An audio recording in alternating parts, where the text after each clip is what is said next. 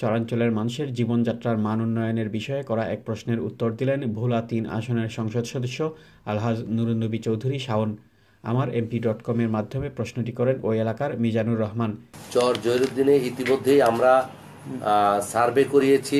সমস্ত চর জহিরুদ্দিনকে একটি রিং বেরির আওতায় এনে আমরা এই মেঘনার করার গাছ থেকে চর জহিরুদ্দিনের মানুষকে রক্ষা করার জন্য। আপনারা জানেন যে এই চর চর জহিরুদ্দিন চর নাসরিন চর মোজাম্মেল চর নাওয়াল সহ মেঘনার বুকে বিশেষ করে মধ্য মেঘনায় জেগে ওঠা অসংখ্য চর। এই চরের মানুষ আসলে আমাদের দ্বীপ জেলা ভোলার যে উপরের যে মানুষের যে সকল নাগরিক সুযোগ সুবিধা আমরা পাই বিশেষ করে বিদ্যুৎ আজকে মাননীয় প্রধানমন্ত্রীর আজকে ঘরে ঘরে বিদ্যুৎ পৌঁছে দেওয়ার যে কর্মসূচি আজকে আমরা প্রায় আশি ভাগ, পঁচাশি ভাগ লোককে আমাদের লালবন তজিমুদ্দিনে আমরা বিদ্যুতের আওতায় আনতে সক্ষম হয়েছি। কিন্তু চরের মানুষকে কিন্তু আমরা বিদ্যুৎ দিতে পারছি না।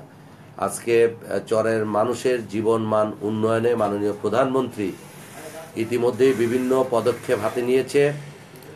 এর মধ্যে বিশেষ করে চরের, এর মানুষের আবাসনের ব্যবস্থার জন্য গুচ্ছগ্রাম আদর্শ গ্রাম সহ আজকে হাজার হাজার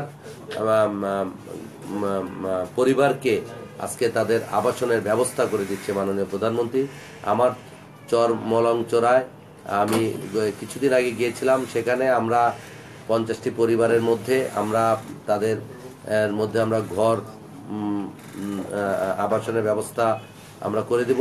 এছাড়াও আমরা ইতিমধ্যেই চর মোজাম্মেল আমাদের চর জহিরুদ্দিনে আমরা অনেকের জন্য মাননীয় প্রধানমন্ত্রীর সহযোগিতায় আমরা এখানে, আমরা তাদের আবাসনের ব্যবস্থা করেছি। পাশাপাশি নদী ভাঙা মানুষকে, মানুষের মাঝে কৃষি খাত জমি বন্দোবস্ত, আমরা ইতিমধ্যে অনেক পরিবারকে কৃষি খাত জমি বন্দোবস্ত দিয়েছি এবং আরও অনেক পরিবারকে আগামীতে আমরা বন্দোবস্ত দেওয়ার জন্য আমরা তালিকা নির্ণয় করেছি এবং আমাদের